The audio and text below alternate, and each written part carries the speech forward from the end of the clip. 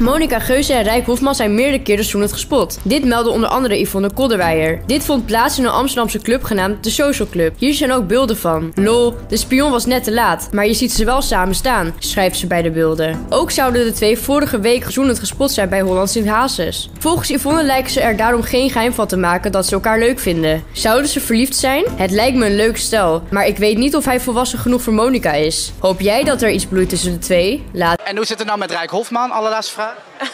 Dat moet je aan hem vragen hoe het met hem gaat. Is er nou iets tussen jullie? Want filmpjes gaan online, daarna weer offline. Even uit de wereld helpen. Wat is er nou aan de hand? Ik voel me nooit zo geroepen om hierover te verantwoorden. Dat willen mensen zo graag. Ja, ja, ik wil ook heel veel. Wat is de gekste plek waar je ooit seks hebt gehad? Eh, nou, dat zijn er nog wat. Nee, ik heb niet echt op hele gekke plekken seks hoor. Ehm gekste plek? Heb je, een soort van, heb, je, heb je het nooit in het openbaar gedaan? Ja, wat is openbaar? In een steegje? Ja, bijvoorbeeld? Nee, dat heb ik of nooit op een gedaan. festival? Nee. Nee? Waar moet je dat doen? In een dictie? Ja, bijvoorbeeld? Gadver. Er ligt zo'n koeienvlaai in die dictie en dan ga jij daar eh, jezelf uit elkaar laten Ja, trekken. weet ik veel. Nee, gek. Ehm, nee, op een ik boot, vind... op een, weet ik veel, op een boot- vliegtuig. Op een boot heb ik wel eens gesext. In een vlieg, weet ik veel. Ik heb ook al een auto, in een boot. Ik ben gewoon van een voertuig gesext. Hoe mensen hem zien, hè? Als super arrogant, eh, bij de hand. eh. Weet je wel, het, is nu, het begint nu best wel stevige vorm aan te nemen, toch? Is dat, hoe zie jij dat? Hoe kijk jij er tegenaan? Dat vind ik lastig, omdat ik zeg maar, ik weet dat dat zo is.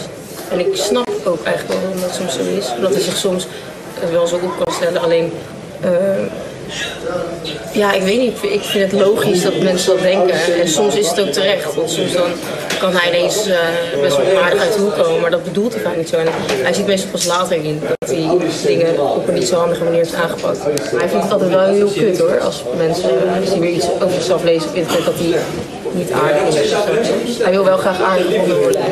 Dus dan zie je wel dat hij daar wel moeite mee echt, zit. Echt, ja, het boeit hem ook echt. Het, boeit, het boeit hem, alleen hij zou het nooit toegeven nooit aan, de, aan de buitenwereld. Nee. Maar wel een beetje aan jou dus. Ja, een heel klein beetje. Ja. Hij vindt het moeilijk om echt over zijn gevoel te praten. Hij praat over alles en altijd of het heel makkelijk is. Maar als het echt, echt, echt over zijn gevoel gaat, dan kan hij het niet. Dan wordt het heel snel schreeuwen en in de verdediging en weet ik wat. Maar misschien dat je het erg op een bepaalde manier ook nodig hebt. zo. Nu ga je bijna net zo staan zoals je ook bij al die anderen gaat staan. Nee, jij bent natuurlijk, jij bent mijn beste mattie. Jou moet ik gewoon normaal doen. Mij nu moet je gewoon normaal doen nu. Je hebt gelijk. Wat, eh, hoe voel je je nu? Eh, ja, goed wel. Een beetje gespannen. Ja, dat voel ik wel aan je. Eh, hoe zeg je dat? Emotioneel. Emotioneel? Echt? Waarom dan? Weet ik niet. Gewoon, omdat mijn vader is. Omdat je vader er is. Wat is daar zo bijzonder aan nu? Omdat hij eigenlijk, eh, hij vindt het allemaal wel goed of zo. En Lucy wel trots. Voel je dat, hoe voel je dat dan? Dat hij gewoon blij is en dat hij met zijn beste vriend is. Je wordt echt een beetje emo, hè? Nee. Wacht even één seconde. Top 5 Nederlandse rappers. Heel kleine. Hij doet het gewoon wel, hè? Hij doet het gewoon wel. En ik ben niet zo'n bitch dat ik het eruit ga laten knippen. Dus oké. Hij dacht, Ja. er moet nog even iets Nee, uitgeknipt worden, je weet toch? Nee, Monica is Nee, het mag. Dit mag, Het dit mag. mag. Monica is Ja. real. Dit mag. Maar Het dit mag. gaat er ook in blijven. Zeker. En wat is iets over wat- mij wat niemand weet? Ja, dat is een goeie. ze is best pittig in bed. Maar dat had ik wel verwacht. Ja? Ja. Jij niet, Lars? Ik ben, al- ik ben een maand in shock geweest, denk ik. Echt waar? Ja, echt. Dacht je dat ze heel soft zou zijn? Nou kijk, zeg maar, ik leerde haar kennen.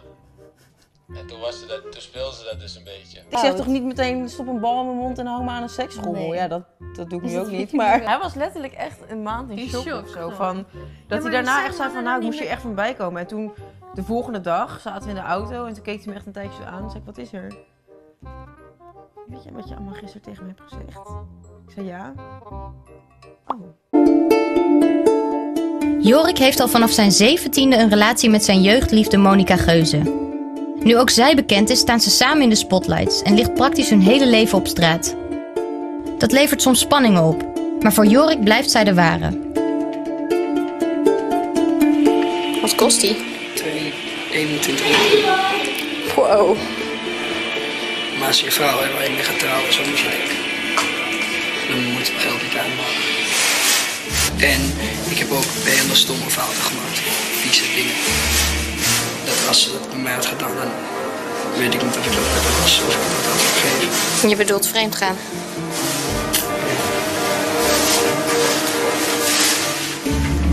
Wat was je eerste seizoen? Oh ja, mijn eerste seizoen was echt, echt geweldig. Ja? Ik denk dat mijn eerste seizoen misschien wel het lekkerste seizoen was die ik ooit heb gehad. Het lekkerste seizoen die ik ooit heb gehad is natuurlijk totale disrespect naar mijn huidige relatie. dus dat meen ik ook niet. En toen gewoon op het eind van het schoolfeest gewoon had. Hoe oud was je? 13 denk ik, 14. Zo, dat is vroeg. 13, 14 zoenen. Ja, toen heb ik al gesext. Echt? Oh, dat is wel Oh, weer... dat nee, ja, maar jij, nee.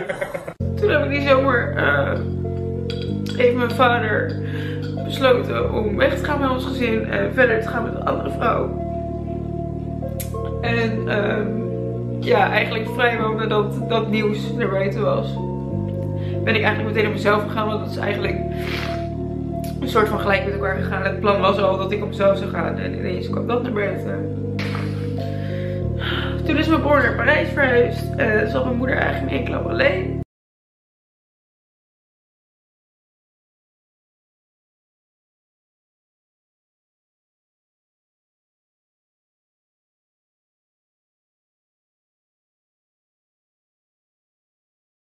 Nu ga je bijna net zo staan zoals je ook bij al die anderen gaat staan. Nee, jij bent natuurlijk, jij bent mijn beste mattie. Jou moet gewoon normaal doen. Mij nu moet je gewoon normaal doen nu. Je hebt gelijk. Wat, eh, hoe voel je je nu? Eh, ja, goed wel. Een beetje gespannen. Ja, dat voel ik wel aan je. Eh, hoe zeg je dat? Emotioneel. Emotioneel? Echt? Weet ik niet. Gewoon omdat mijn vader is. Omdat je vader er is. Wat is daar zo bijzonder aan nu? Omdat hij eigenlijk... eh, hij vindt het allemaal wel goed of zo. En Lucy wel trots. Voel je dat, hoe voel je dat dan? Dat hij gewoon blij is en dat hij met zijn beste vriend is. Je wordt echt een beetje emo, hè? Hey. Wacht even, één seconde.